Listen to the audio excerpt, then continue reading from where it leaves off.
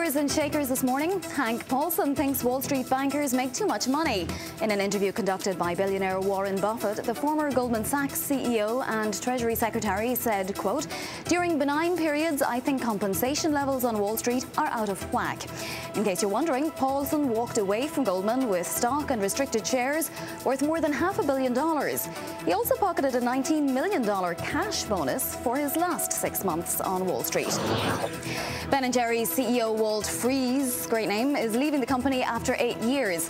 According to a statement from the ice cream maker, Freese is moving on to pursue other opportunities. He's agreed to stay until the end of March. No word on a replacement.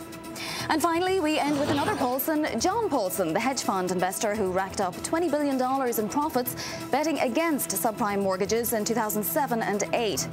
So far, though, Paulson hasn't been able to bring his Midas touch to the gold fund he started in December. The Wall Street Journal says Paulson is having trouble attracting investors.